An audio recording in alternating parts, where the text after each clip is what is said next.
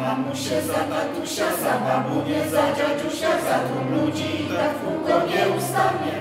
Nagle usłyszałem gniewny głos babci Agi.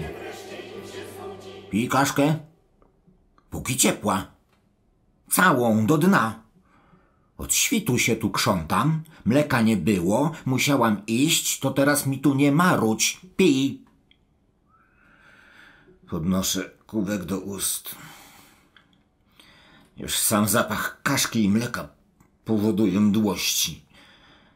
Wiem, że będzie mi niedobrze aż do trzeciej lekcji. I znowu ciągłe uwagi. Uważaj! Skup się! Nie gaw się w okno! A co przed chwilą powiedziałam?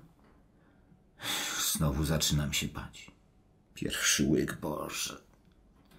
Obudziłem się. Patrzę na budzik. A nie, znowu zaspałem. Za mamusię, za tatusia, za babunię, za dziadziusia, za tłum ludzi Szybko się ubieram. Majtki pewnie brudne, ale co tam, byle szybciej. Skarpety ciężko ubrać. Ręce mi się trzęsą ze zdenerwowania. Boże, nie odrobiłem matmy, a to pierwsza lekcja. Może lepiej się spóźnić. Albo wagary. Nie, nie, nie, więcej nie mogę, nie nadrobię. I te wrzaski. Spodnie, koszula, gdzie, gdzie buty? Gdzie buty? Spokojnie, spokojnie, w przedpokoju. Skradam się cicho. Są buty. W kuchni nikogo nie ma. Może się uda.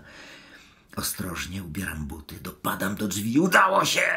Kuchnia nadal pusta. Dziś nie będzie kaszki i kanapek. O nie. Za mamusię, za tatusia, za babunię, za dziadziusia, za tłum ludzi i tak Książki.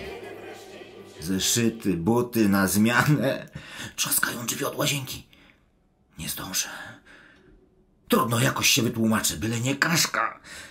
Wybiegam z mieszkania, szybko, po dwa stopnie w dół, brama, ulica, biegnę. Jak się nie spóźnię na lekcję, to może nie zauważą. Dadzą spokój. Szybciej, szybciej. Skąd ta zadyszka? Księgarnia. Cholera, muszę się zatrzymać i pogapić na książki. Trudno, stop. Patrzę. Jaka ulga. Mam czterdzieści lat, przyjechałem odwiedzić mamę. Mam fajną pracę i nigdy żadnej szkoły, żadnej kaszki. Nagle trochę smutno. Ale tylko trochę, bo babcia nie żyje od naprawdę wielu lat. Wracam do domu. uroczyście przysięgałem, że pamiętać będę chwile, które budzą w dzieciach grozę i że nigdy nie usłyszę, czy ja muszę, choć nie znoszę.